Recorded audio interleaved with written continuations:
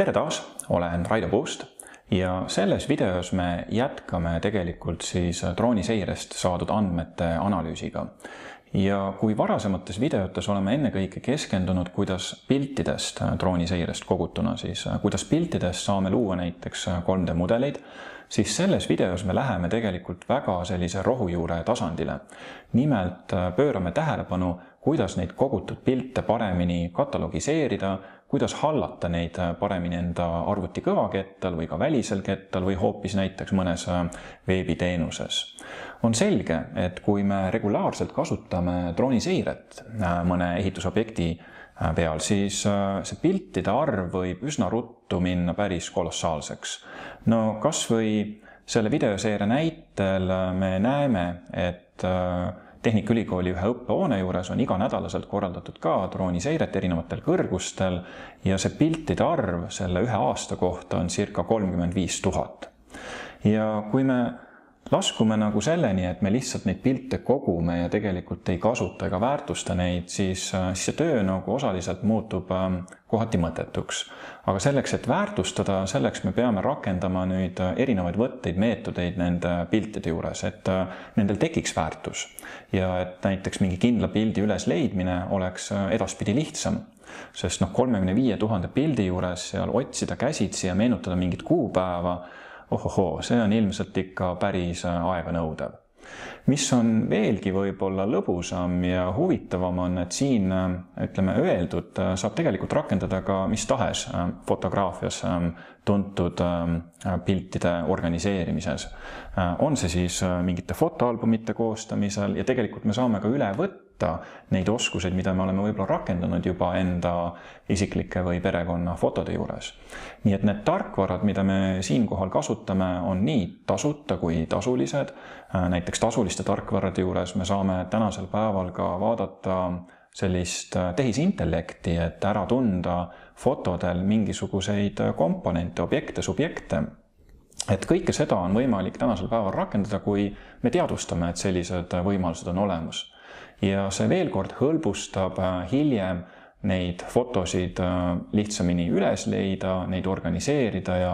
ja sõna otseses mõttes väärtustada seda infot paremini. nii et äh, egas muud, kui pööramegi pilgu taas arvutiekraanile ja vaatamegi neid erinevaid võtteid, kuidas drooniseires saadud pilte näiteks konverteerida ka erinevatesse formaatidesse või näiteks kui me tahame võib-olla neid pilte jagada üle veebi, siis võib-olla ei ole oluline see äh, täisresolutsioon, äh, mis äh, drooni ühe foto puhul võib täna olla circa kaheksa-üheksa megabaiti. üldiseks diskussiooniks ja näiteks kommenteerimiseks võib sobida ka madalama resolutsiooniga pilt. kuidas lihtsasti neid pilte on võimalik konverteerida, et see meilt võimalikult vähe aega nõuaks ja kuidas üleüldse saada neid kommentaare, ehk siis milliseid rakendusi kasutada selleks, et mugavalt Ähm, sellist ühistööd ähm, või ühistöö võimalusi tutvustada, kasutusele võtta. nii et äh, mis muud, kui ähm, vaatame lähemalt nüüd arvutiekraanile. no vaatamegi kõigepealt otsa siis äh, nendele kataloogidele, et veel kord, äh, siin ma kasutan andmeid, mida on siis ühe ja sama ehitusobjekti juures läbi drooniseire korjatud üle aasta ja seda siis nädalapõhiselt, mitte küll päris ehituse algusest peale, aga üle aasta on need kestnud, nii et kui ma klikin siin mõnel nädalal, siis omakorda siin alamkataloogides on mul märge, et millistel kõrgustelt ma näiteks olen äh, neid andmeid kogunud ja kui ma teen nüüd seda ühe ja sama lennuprogrammi alusel, siis äh, mul on võimalik hiljem näiteks otsida neid pilte kindlast punktist või asukohast. ma ei mõtle siin koordinaati, aga veelgi lihtsam, äh, kui ma kasutan ühte ja sama lennuprogrammi, siis sisuliselt faili nimes sisaldub mul täpselt seesama number, mida ma saan otsingusse panna äh, ühe osana siis ja leida kõik pildid, mis on siis tehtud samast asukohast. no näiteks ma näen, et äh, mul siin viiekümne meetrise lennu juures on kolm nulli ja üks ja siis tuleb pildinumber ja seda ma saan siis otsida, kui ma lähen näiteks siin ülemisele tasemele, panen võib-olla siis äh, kolm nulli üks kriips ja näiteks null null kakskümmend viis, võin panna siia ka tärnid ette ja taha, et kõiki siis pilte üle selle seeria või, või otsingustringi. Ja kui ma vajutan enter, siis sisuliselt hakataksegi otsima mul neid pilte ja ma panen tähele, et juhul, kui see lend siis kuulub täpselt samasse lennuprogrammi ja olles eelnevalt siis need lennuprogrammid enda jaoks niiviisi defineerinud, et seesama kood tähistab ühte ja sama lennuprogrammi, ma võin selliselt näiteks kujundada enda pildikogus siis väga palju erinevaid lennuprogramme, ehk siis kasutan lihtsalt faili nimes lennuprogrammi mingisugust kokkuleppelist koodi enda jaoks, jah. ja siis on võimalik mul selle kaudu otsida ja panen tähele, et null null kakskümmend viis ja läbi kõikide siis seeriate no osaliselt on mul siin ka teised seeriad mängus hetkel, et ma näen sisuliselt sedasama nurka. jah, väikesed erinevused võivad sisse tulla, aga sisuliselt üle aasta ma näen täpselt sedasama vaatenurka ja annab mulle võimaluse siis, mismoodi näiteks selle aja jooksul on mingis vaates mingi näiteks äh, ehitusprotsess, tegevus äh, või siis äh, lihtsalt kujunduslikult midagi muutunud. ma saan siit veel omakorda edasi minna, et kui ma teostan selle otsingu ja kuvan võib-olla siit näiteks details vaate, ma näen, et mul on kokku siin nelikümmend seitse pilti, siis on mul võimalik nendele piltidele tegelikult panna siinsamas jällegi Windowsi töövahenditega külge mingisugune tähis. et noh, kui ma vaatasin siin näiteks pildina, siis sisuliselt mul on siin näha katus, ehitise katus, lihtsa näitega ma võingi teha nii, et äh, valin siit näiteks mingisuguse osa pilte, noh, et olla võib-olla täpsem, ma võtan võib-olla siis näiteks need neli pilti, võib-olla hiljem veel mõne pildi juurde. Ja seejärel ma liigun siis äh, View ja võtan siit Details pane, nii et äh, viis pilti mul hetkel valitud ja saan panna siia külge nüüd lisatähise. et tags rida, panen näiteks siia tähise, kas siis roof või katus ja vajutan enter. nüüd järgmine kord, kui ma soovin kindlat pilti juba otsida Äh, siis on mul väga lihtne minna selle tähise juurde, näiteks kui ma lõpetan siin hetkel selle otsingurežiimi ja lähen tagasi siin äh, põhikataloogi ja soovin otsida nüüd äh, näiteks pilte, millel on kasutusel tähis roof, panen tags, colon roof, siis sisuliselt ma hakkan saama sellele otsingule vastavaid pilte. nii et see hõlbustab mul hilisemat mingit kindla pildi leidmist sellest suurest ähm, kogumist. ehk siis alustan kõigepealt üldisest otsingust ja seejärel saan panna külge selliseid äh, tähiseid, lisamärkuseid, märksõnu. muidugi see otsing võib võtta aega ja see ennekõike sõltub sellest, et kui palju sul neid äh, pilte või faile siis äh, tervikuna selles vastavas otsingu kataloogis on ja hiljem, kui siis selgub, et sa näiteks seda tähist enam mingil pildil ei soovi, ei vaja, siis täpselt samamoodi saad sa tegelikult selle ka eemaldada või omakorda näiteks täpsustada, et valides pildid ja seejärel lihtsalt äh, eemaldades äh, selle vastava tähise ja kindlasti siis enter või ka save, et see uuesti ka salvestada, ehk siis lisatakse selle pildi külge metainfosse sisuliselt. nüüd lisaks sellele on sul võimalik Windowsi kasutajana luua ka piltidest fotoalbumeid ja seda põhjusel, et äh, kui sa oled teostanud otsingu, siis sa võib-olla tahad nüüd alustada mingit koostööd, mingit kommenteerimist äh, läbi viia, siis äh, jah, sa võid teha selle baasil näiteks mõne esitluse ja nii edasi, aga sa võid ka pildi kogu väga lihtsasti jagada. ja muidugi on siin väga palju erinevaid võimalusi, alustades sellest, et sa panedki näiteks Dropboxi või OneDrive'i need pildid üles, jagad linki, aga saad selle juurde jõuda ka puhtalt äh, lihtsalt äh, Windowsi töövahenditega. no muidugi eeldusel, et sa oled nende suur fänn ja, ja siis äh, teisi töövahendeid näiteks kasutada hetkel ei ole või ei ole võimalik. no hästi, ma lähen siit otsingurežiimist hetkel välja ja võib-olla siis tagasiulatuvalt, kui me sellest äh, kogu kataloogist või kataloogide süsteemist siin räägime, siis ähm, neid äh, pilte on siin tegelikult üksjagu üle kahesaja viiekümne gigabaidi, peaaegu kolmkümmend viis tuhat faili. et, äh, et teostada otsingut kas või käsitsi, ähm, see on selgelt äh, väga aeganõudev, mistõttu tulebki leida viise, kuidas on võimalik nendes piltides lihtsamini orienteeruda. kas siis lähtudes sellest, et me kasutame ära faili nime, mis on teatud mahus fikseeritud, kui me kasutame fikseeritud lennuplaane, või siis lisades näiteks neid äh, tähiseid. et see aitab väga palju meil äh, hiljem seda aega kokku hoida. lisaks, äh, kui ma võtan siit mõne juhusliku kataloogi, siis ja soovin näiteks mingisuguseid pilte jagada teise osalisega, siis jah, ka selleks on väga palju erinevaid võimalusi,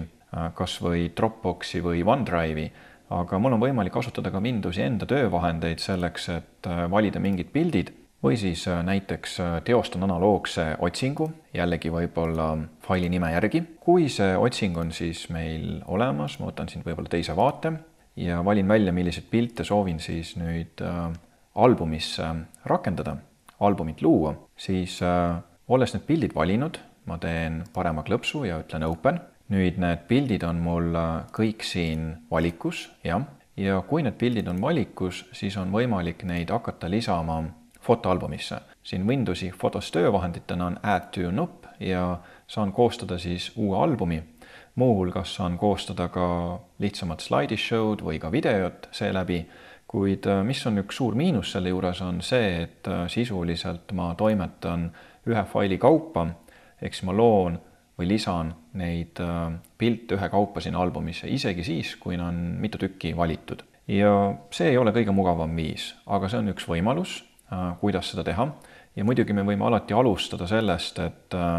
loon uue albumi ja siis mingist kindlast asukohast valin sinna mingi seeria pilte. aga see oleks nagu siis natuke teistpidi minemine, et ma ei alusta otseselt piltide otsingust, vaid vastupidi. aga võimalik. nüüd palju lihtsam on muidugi kasutada siinkohal siis selliseid teisi fotoalbumitele suunatud tarkvarasid ja ka mina plaanin näidata siin kahte neist, üks, mis on vabavaraline, teine, mis on siis äh, kommertsvariant. ja enne, kui ma selle juurde liigun, siis äh, võib-olla veel äh,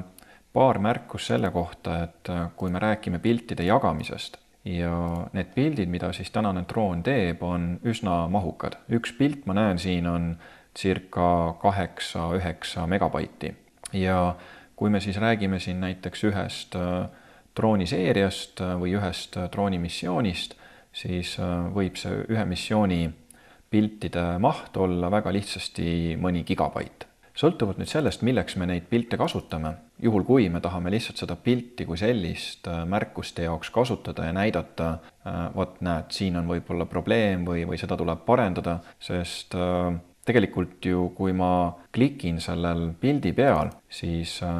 selle pildi resolutsioon sõltub sellest, kui kõrgelt ma drooniga lendasin ja milline on siis omakorda see kaamera vaade, ehk siis äh, mis on see pikslite ulatus, mis mu pildile jääb. Nii et kui siin nendel piltidel on mul see pikslite ulatus, no võtan siit kas või ühe esimese ettejuhtuva pildi, siis ma näen, et see on viis tuhat viissada pikslit korda no peaaegu kolm tuhat seitsesada ja kui arvestada, et see droon nüüd meil Äh, lendab antud juhul siis viiekümne meetri kõrgusel, siis selle ühe piksli suurus või ütleme siis ulatus äh, tuleb meil circa üks koma kolm sentimeetrit. kui ma lendan näiteks neljakümne meetri kõrgusel, siis selle piksli suurus muidugi väheneb ja see sisuliselt annab mulle võimaluse sellise kõrgema resolutsiooniga piltidel kas või teostada lihtsamaid mõõdistusi. jah, muidugi eeldades, et äh, mul see vaade on risti projitseeritud, et ma ei hakka nagu kogemata siin äh, mõõtma midagi, mis on nurga all, et siis see täpsus muidugi selles mõttes äh, kannatab. aga ma saan tõepoolest ähm, pikslite baasil mõõdistada, sest ähm, tegelikult sellel pildil ju siin reaalseid mõõte ei ole, aga kui ma tean äh, piksli suurust, mille ma saan üldjuhul siis ähm, drooniga lennuprogrammi koostades teada, siis väga lihtne jällegi nüüd teiselt poolt ähm, neid kõrge resolutsiooniga pilte me muidugi siis äh, saame kasutada näiteks erinevates äh, rakendustes, et äh, on see siis tehisintellekt või siis näiteks varasemalt näidatud fotogrammeetria ehk siis fotogrammeetria baasil mudeli tegemine. et seal on loomulik, et meil on vaja hea resolutsiooniga pilte aga kui jutt käib lihtsalt piltide markeerimisest ja üldisest ähm, ütleme siis infovahetusest, siis meil ei ole vaja lihtsalt seda,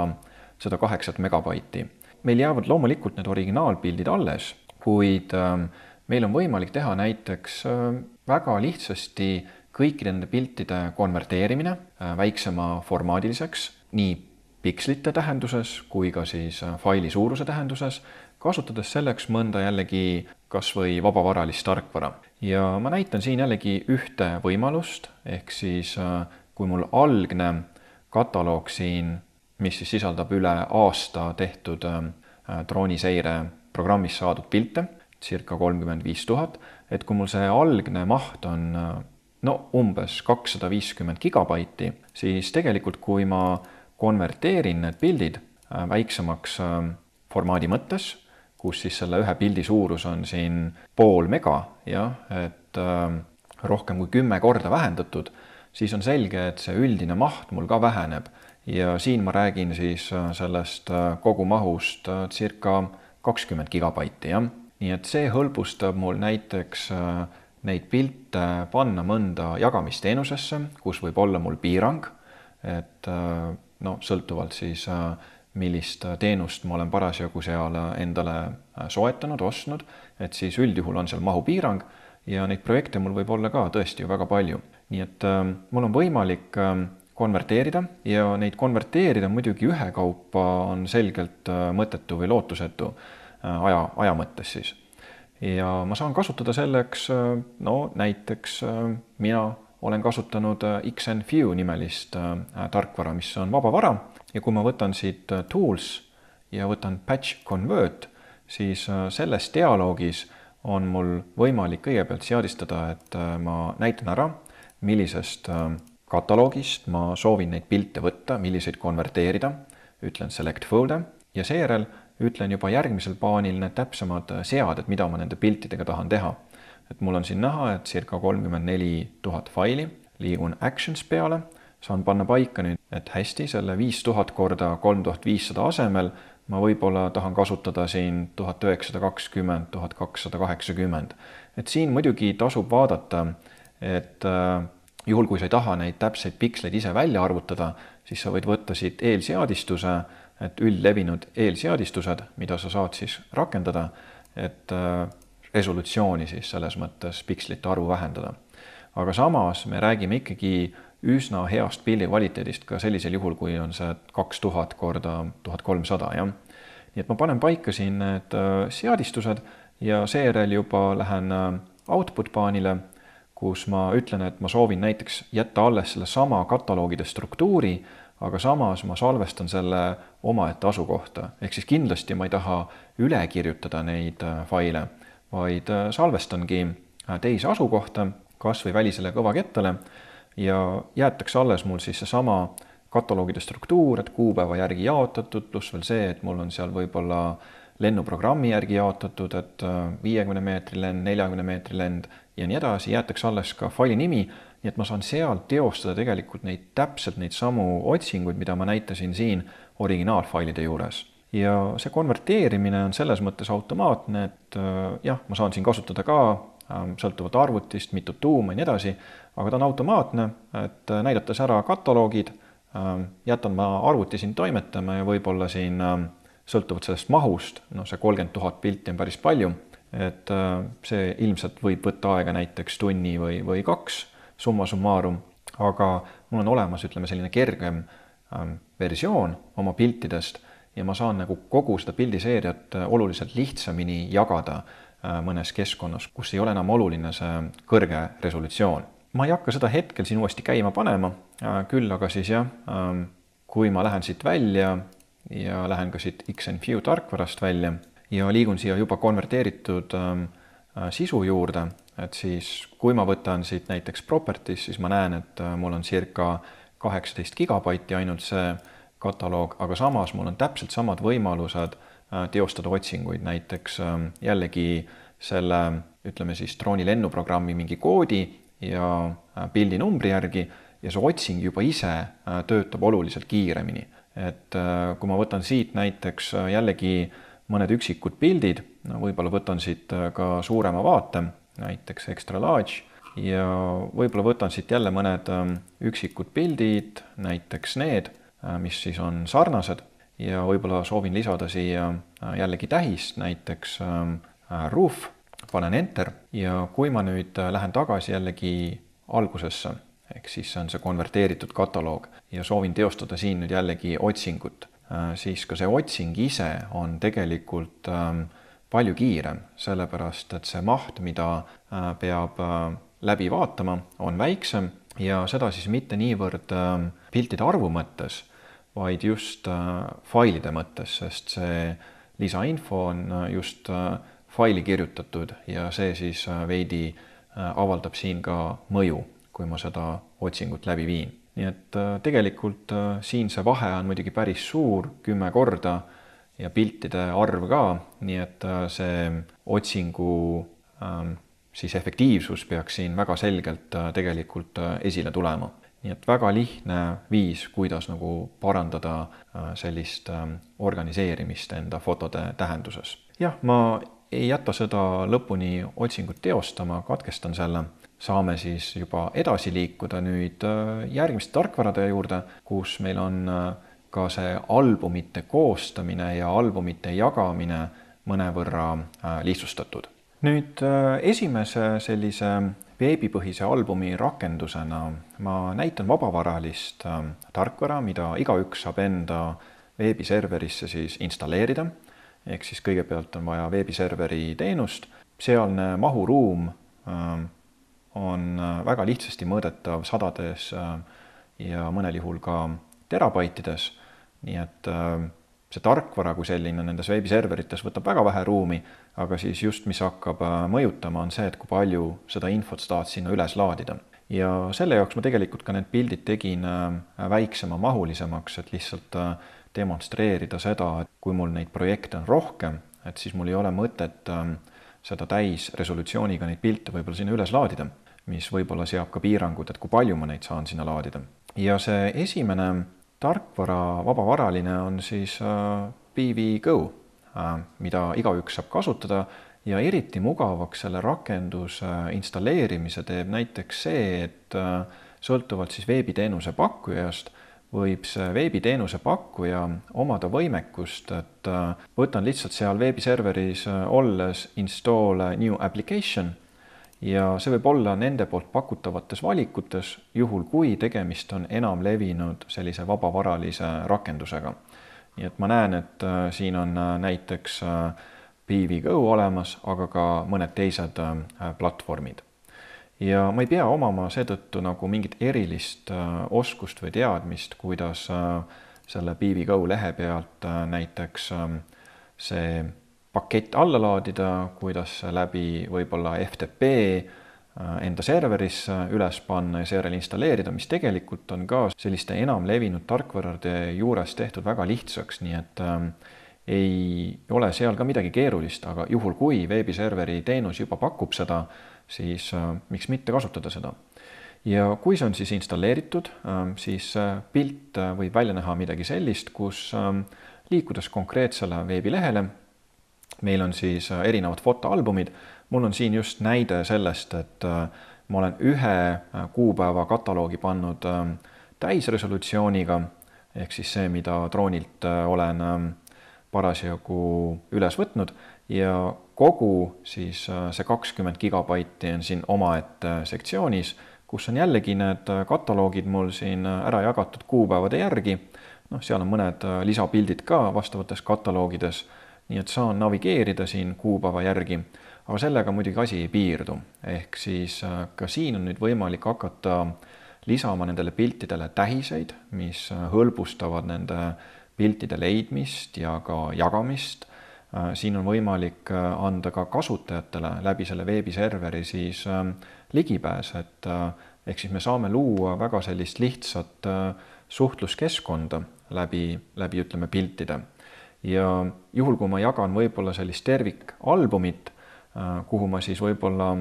olen äh, lisamas uusi drooniseireid, siis ka need automaatselt äh, muutuvad kättesaadavaks. et tõsi, me võime ju mõelda ka selliselt, et pilte näiteks jagada Dropboxi või OneDrive'i või SharePointi kaudu, et ka selles mõttes ka minul on seda siin tehtud ma võin minna ka jah, SharePointi,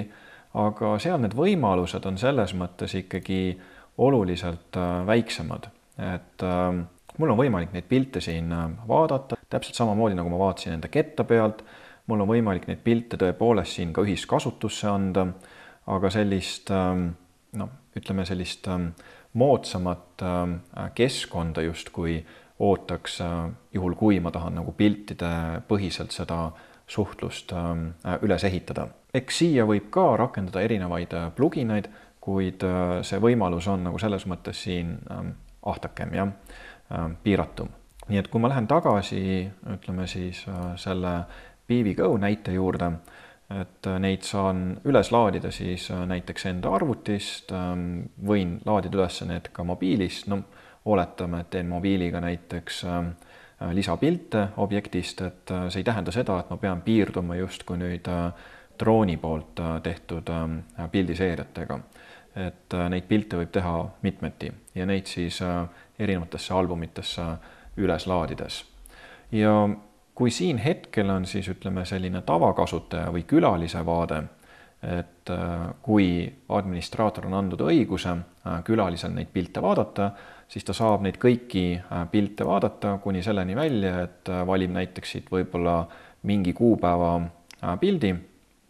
ja seejärel klikib sellele ja näeb selle pildi kohta ka lisainfot, pluss veel see, et ta saab selle pildi näiteks ka alla laadida. Ja seda siis juba erinevates suurustes, nii et selles veebiserveris istuva äh, selle veebiteenuse BBGO näol on tegemist ka automaatse konverteerijaga. et juhul, kui mul on see pilt siin üles laaditud nii-öelda originaalformaadis, siis kasutaja saab selle väga lihtsasti alla laadida enda jaoks selle ütleme, niisugused enam levinud kombinatsioonides, mis puudutab siis pildi suurust. väiksema pildina, suurema pildina ja nii edasi, või siis originaalpildina, jah nüüd äh, juhul, kui me aga võtame võib-olla siit nüüd edasi äh, administraatori vaate, ehk siis administraator, äh, selle keskkonna omanik, aga ka teised kasutajad, kellele on antud need õigused, et ta saab näiteks siin pilte üles laadida või piltidele tähiseid panna, et temal on muidugi palju rohkem võimalusi siis selles keskkonnas. et ja just see võib-olla ongi olulisem aspekt, miks näiteks seda platvormi võib näiteks lihtsalt ka iseseisvalt katsetada et kui ma login sisse administreerimise liidese juures, ma muidugi näen siin ähm, statistikat, palju mul fotosid on, palju mul albumeid on, palju mul on kasutajaid ja nii edasi ja seejärel on mul võimalik ka siin administraatori vaates ähm, vaadata nüüd neid ähm, pilte, fotosid ja lisada siis ka erinevaid märksõnu. Need äh, märksõnad on võimalik näiteks ette kirjutada, kui ma võtan siin photos ja keywords ja panen näiteks siin add keyword ja panen võib-olla näiteks äh, märksõna car kui auto, äh, võib-olla panen midagi veel, näiteks äh, crane, kraana. Ja panen võib-olla midagi veel, näiteks add keyword ja roof kui katus. seejärel ma saan nüüd liikuda jällegi mingisse otsingurežiimi, ka siin teostada üldist otsingut, võib-olla analoogselt jällegi nagu enne, et null null üks ja null null kakskümmend viis panen otsingusse. Äh, leitakse need pildid mõistagi üles siin erinevatel töölehtedel ja saan koostada näiteks siin ka siis äh, ütleme sellise kitsama albumi, äh, mida näiteks võib-olla teiste osalistega soovin jagada. Või siis näiteks klikkida mõne pildi peal ja redigeerida seda pilti, ütlen siin edit photo ja panna siis juurde siia märksõnu, et kas siis sellest olemasolevast nimekirjast panen siia siis äh, näiteks hoopis seekord juurde snow, panen enter, kindlasti siis ka salvestama, save settings. ma saan määrata, et kas see on nähtav kõigile või kindlatele gruppidele ja kui ma siis lähen tagasi siin äh, põhivaatesse ja kasutan nüüd seda märksõna, panen äh, enter, siis leitakse mulle ka selle märksõnaga pildid. nii et väga mugav viis nüüd ühises keskkonnas ähm, markeerida neid pilte, nii et äh, kui on mitu kasutajat ja nendele kasutajatele on mingites albumites antud siis õigused, et äh, seeläbi on võimalik äh, jällegi sellist väga lihtsasti nagu koostööd ähm, õhutada. selle BBGO juures on muidugi ka hea asi veel see, et, kuna ta on avatud platvorm, siis seda saab täiendada väga erinevate pluginatega, nii et ka minul on erinevaid pluginaid lisatud, mis siis võimaldavad või avardavad selle Äh, ütleme, keskkonna siis kasutamist, et äh, just see, et äh, siin on võimalik mingite teatud piltide baasil teha jagatav album, mis on nagu selles mõttes väga ähm, tavaline mõiste, jah, sõltumata sellest, millist võib-olla tarkvara me kasutame, et tahame mingi jagatava lingi kaudu anda ligipääsu mingile kindlale pildikogule näiteks. neid pluginaid muidugi on veel ja neid tekib alati juurde, sõltuvalt siis versioonist tuleb lihtsalt jälgida, et seda saab parasjagu sellele versioonile peale panna, mis teil siis veebis on installeeritud. aga üldiselt jah, väga mugav töövahend, mis siis hõlbustab jällegi sellist piltidega töötamist aga see viibki meid nüüd jälle edasi äh, järgmise variandi juurde, mis äh, tuleneb võib-olla isegi rohkem sellisest äh, igapäeva fotograafiast, ehk siis ka neid rakendusi, mida võib-olla me oleme kasutanud oma isiklike fotode, ütleme, haldamiseks ja ka jagamiseks, et ka neid saab kasutada, ütleme, selliste massfotoseeriate juures väga edukalt, ehk siis seal on ka mitmeid jällegi nutikaid lahendusi. Ja üheks selliseks äh, rakenduseks, mida ma siinkohal äh, plaanin näidata, on muidugi Lightroom, mis on siis äh, Adobe toode, see on tasuline tarkvara. Ka siin siis me jällegi nüüd sõltume sellest, et parasjagu milline pakett on meil valitud.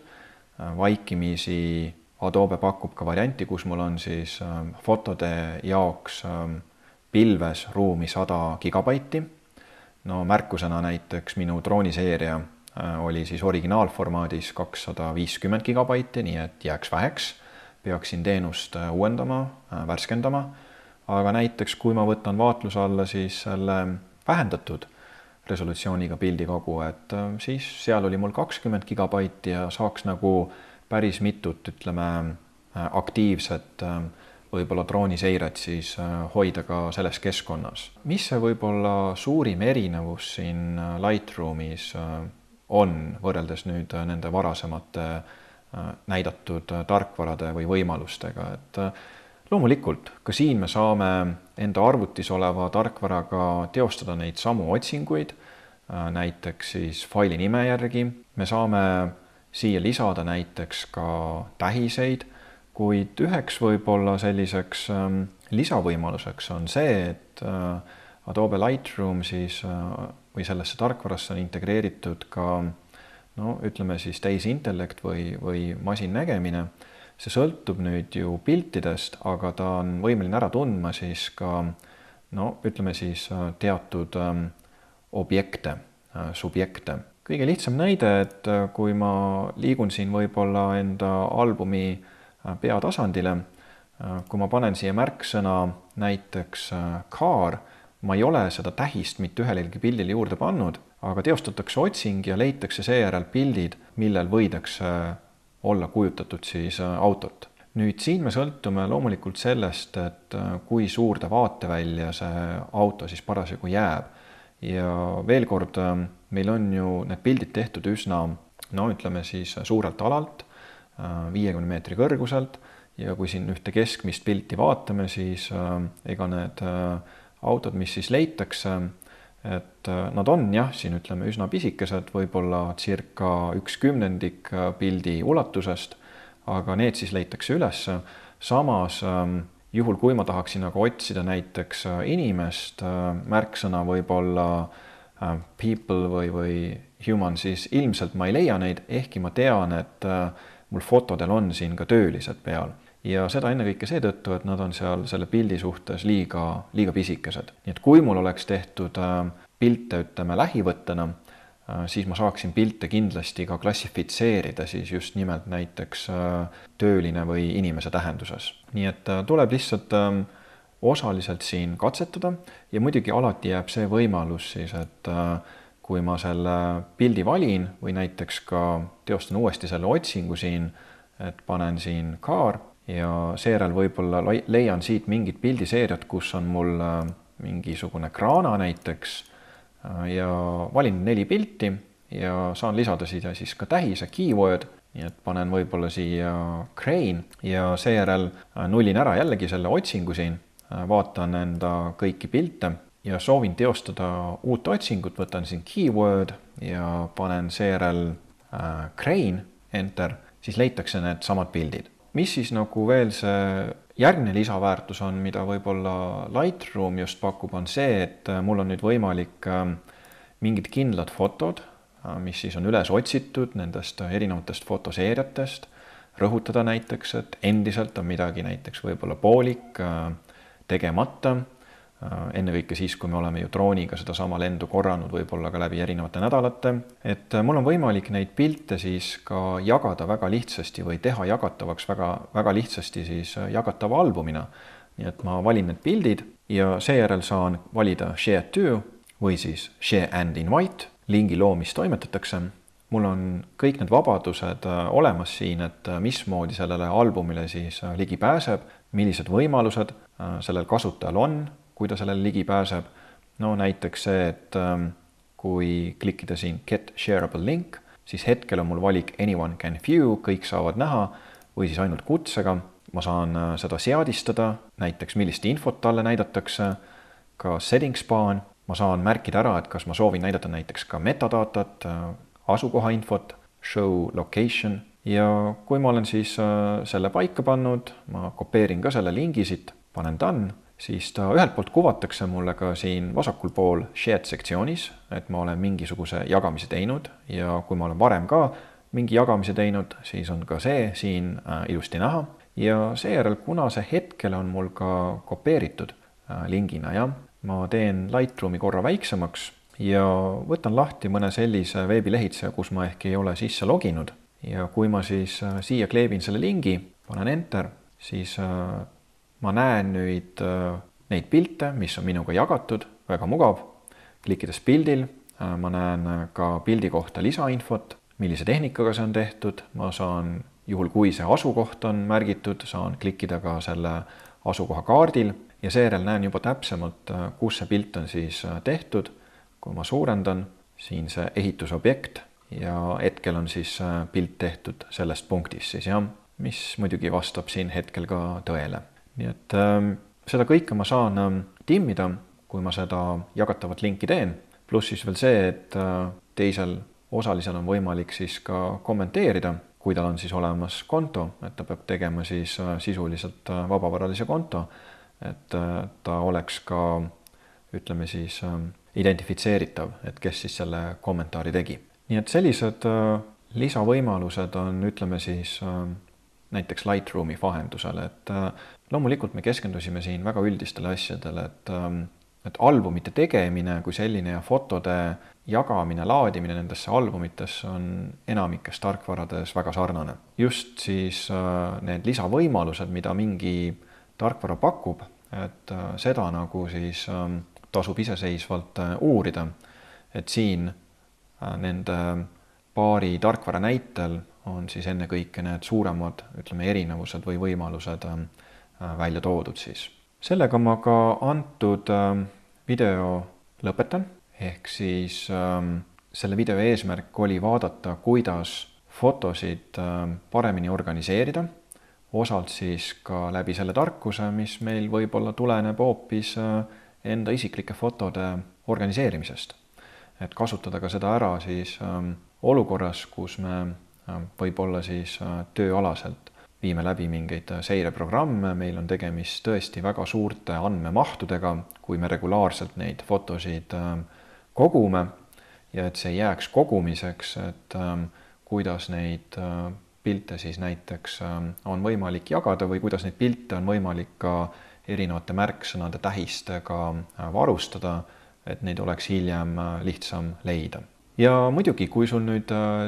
tekib huvi, et äh, sa tahaksid nagu täpsemini teada saada, et kuidas ikkagi täpselt see BVGO ähm, installeerimine käib või, või, või mismoodi see Lightroom ikkagi siis nüüd aitab mul paremini abiks olla, et äh, selleks siis äh, kindlasti kasuta kommentaare, anna märku, millest täpsemalt võib-olla peaks äh, juttu tegema kui sa aga ei jõua nüüd järgmist osa ära oodata, siis kliki kindlasti subscribe nupul ja sa saad teavitusi, kui ma olen selle uue video üles laadinud. peatse kohtumiseni!